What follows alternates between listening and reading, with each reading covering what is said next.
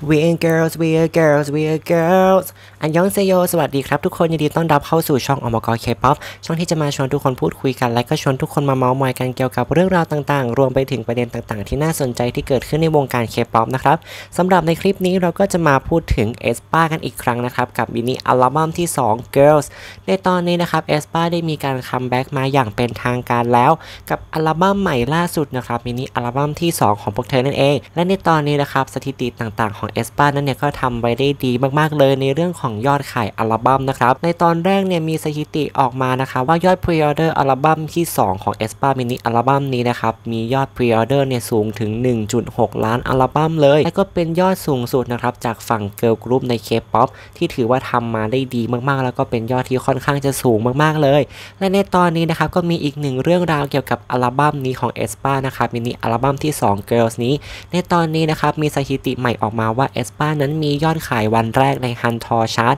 อยู่ที่ 86,891 อัลบั้มนะครับ ซึ่งถือว่าเป็นยอดที่ค่อนข้างจะสูงมากๆเลยในแค่วันแรกเท่านั้นนะครับ ที่การวางขายเนี่ย เป็นการวางขายหรือว่าการจัดจำหน่ายอย่างเป็นทางการสำหรับมินิอัลบั้มนี้ ซึ่งสำหรับอัลบั้มที่ 2 ของ e s p a นั้นนะครับอัลบั้ม Girls เนี่ยก็มีหลายเวอร์ชันมากๆ มีทั้งหมดเนี่ย3เวอร์ชันนะครับเวอร์ชันแรกนั่นก็คือกวางยาเวอร์ชันเวอร์ชันที่ 2 คือ Real World เวอร์ชันแล้วก็เวอร์ชันที่ 3 คือ Digipack เวอร์ชันซึ่ง Digipack เวอร์ชันเนี่ยก็จะแยกไปเป็น 5 ปกด้วยกันนะครับ นั่นก็คือปกของ member ทั้ง 4 คนคาริน่าวินเทอร์จีเซลแล้วก็หนิงหนิงแล้วก็ 1 ปกรวมนะครับ เป็น 1 ปกรวมของวง แล้วก็ยังมีกวางยาเวอร์ชัน Real World เวอร์ชันอีกอย่างละ 1 ปกนะครับ ก็รวมกันเป็นทั้งหมดแล้วเนี่ยมีด้วยกันอยู่ 7 ปกกันเลยนะครับ มีทั้งหมดด้วยกันเลย 7 ปก ซึ่งในตอนนี้นะครับ ยอดทั้งหมด 8 0 0 0 0 0กว่าอัลบั้มที่ขายได้วันแรกภายใน 1 วันเนี่ย กวางยาเวอร์ชันนะครับทำยอดไปได้ 2,227 อัลบั้มนะครับ แล้วก็เรียลเบอร์เวอร์ชันอีก 216,554 อัลบั้มนะครับ แล้วก็ Digipack เวอร์ชันทั้งหมดรวมกันแล้วนะครับ ขายได้ 391,100 กับอีก 10 อัลบั้มนะครับ ซึ่งโดยรวมทั้งหมดนะครับ 3 เวอร์ชันแล้วเนี่ย เป็นยอดทั้งหมดอยู่ที่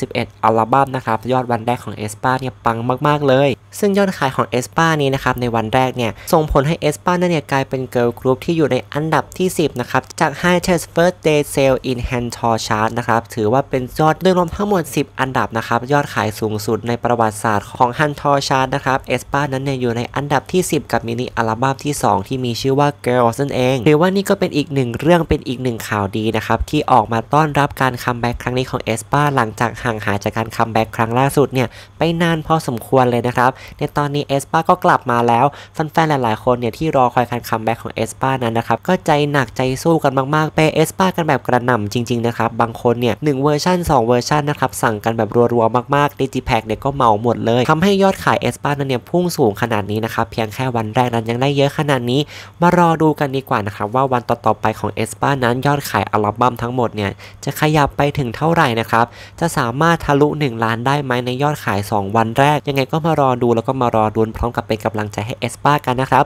สำหรับคลิปนี้เราก็แวะมาอัปเดตเรื่องราวเล็กๆน้อยๆเกี่ยวกับยอดขายอัลบั้มของเอสปาในการคัมแบ็กครั้งใหม่นี้ใครมีความคิดเห็นยังไงเกี่ยวกับเรื่องราวนี้คอมเมนต์กันมาได้เลยนะครับรวมไปถึงมาร่วมแสดงความยินดีให้กับเอสปากันได้เช่นกัน และหวังว่าทุกคนนะครับจะติดตามเป็นกำลังใจให้กับเอสปาของเราในการคัมแบ็กครั้งนี้กันด้วย ยังไงก็อย่าลืมกดไลค์แล้วก็กด subscribe เป็นกำลังใจให้กับช่องอมกรเคป๊อปกันด้วยนะครับทุกคนคลิปนี้ก็ต้องขอตัวลาไปเพียงเท่านี้ครับกลับมาเจอกันใหม่ในคลิปหน้าครับ สวัสดีครับ อันยอง